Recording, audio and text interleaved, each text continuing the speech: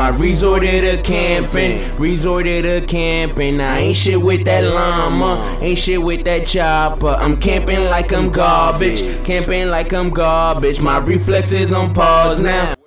Hey yo, what it do, baby? It's your boy Dynamic, and today I'm bringing you some Call of Duty commentary. But what I'm gonna talk about is Google's new health company named Calico or Calico.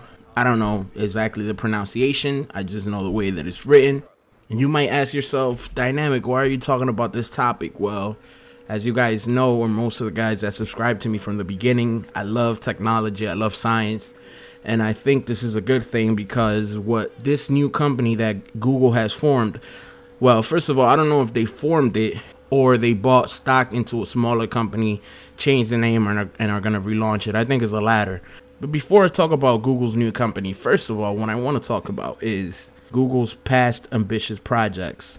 So, the first ambitious project that I can remember was Google Glass. And at first, investors from Google were like, oh, we're not sure if this is going to work. The technology doesn't seem like it's there. And Google really, really believed in it. I think when they announced it, it was like 2010 or something like that. And the technology has really progressed to the point where Google actually envisions this product as something that can be successful, something that could change the way things are done, like like the iPhone was on modern culture.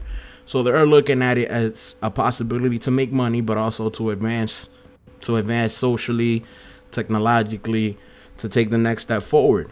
then Google put money into researching uh, autonomous vehicles, self-driving cars, cars that drive themselves at first investors were like, "Oh, we don't know about this," but Google, what they, in my opinion, what they want to do is they want to advance technology forward because they see that a lot of things are just stuck in the same, in the same. They're not advancing. At the same time, they see potential for these companies that they create or these new innovations to make money down the road. So it's not like they're being dumb about what they are doing. They're taking a risk but it's a calculated risk.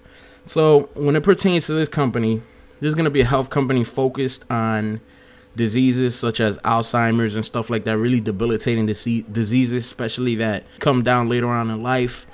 Okay, so what I want to do is talk about what I think, my personal opinion, what I think is motivating Larry Page and Sergey Brin, you know, the co-founders of Google, into taking these ambitious projects and trying to make money but also improve people's lives and bring upon innovation into the world.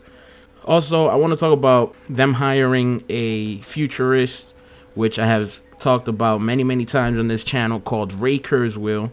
And he basically wrote a whole bunch of books, but the most popular books that he wrote is one is called The Age of Spiritual Machines, and the other one is called The Age of Intelligent Machines which basically talks about the singularity and this leap forward in technology. And he was hired by Google, by the way. But what I get from all this, especially what's going on lately, because all the technologies Google is talking about or has put some effort into are all technologies that he wrote about in his book. Basically, the wearable tech, you know, like the Google Glass, the self driving autonomous vehicles, those are things that Ray Kurzweil wrote in his book, and Ray Kurzweil has been a Google employee since December. Also, the Google Brain, which is basically they're trying to create artificial intelligence that learns by itself.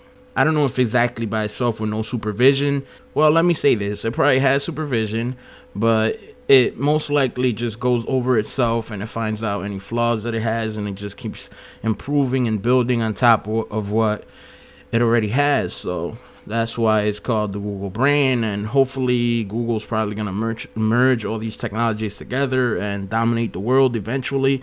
At least that's my opinion. Anyways, the connection that I wanted to make between Ray Kurzweil, the futurist, which is also a Google employee, and the executives over there at Google and stuff is that I read a half dozen articles and all these people that write about technology and stuff all the time, they I don't know if it's that they weren't informed about this guy or they just completely ignored it or couldn't make the connection that everything he was preaching before he went to Google are things that Google is actively doing now. It just seems like too much of a coincidence. Google sees potential in these things to make money, but they also it's like it's like Elon Musk. It's like he sees potential in things that can make money, but they also have a purpose. He wants to like advance technology forward, and it seems that's what Google wants to do. And keep in mind, if Google achieves this Google Brain thing and their Google Brain reaches human or superhuman cognitive abilities and critical thinking and IQ and all this, whatever artificial intelligence is cracked up to be or what we imagine, if they achieve that, they are going to dominate every single company in the world. But that's another subject altogether. So, anyways, when it comes to this latest company that they have, one of the things that Ray Kurzweil has talked about is eventually human beings becoming immortal or merging with machines. And this company is a health company, which is it wants to improve the lives of human beings especially older human beings, because we are living longer. As time moves on, the, we live longer and longer, and maybe our biology wasn't programmed for us to live this long. So we have all these new diseases that pop up that we never even knew of a hundred years ago or 50 years ago because we simply did not live that long. So they're trying to improve later age in life, and at the same time, they're trying to prolong life. And maybe I know they don't want to talk about it because it sounds crazy, but maybe we will reach a point someday where human beings don't die anymore. Where it's just like, I know it's hard to imagine now. For anyone, it is hard to imagine because through the history of mankind, all species, even the longest living species, most likely die. We're not sure about that on a couple species, but I really hope Google is successful with what they're trying to do. It seems incredible, amazing. I love technology. I love science. I'm happy to be living in these times. So, anyways, I'm out of time, guys. So, peace out, players. Oh my god.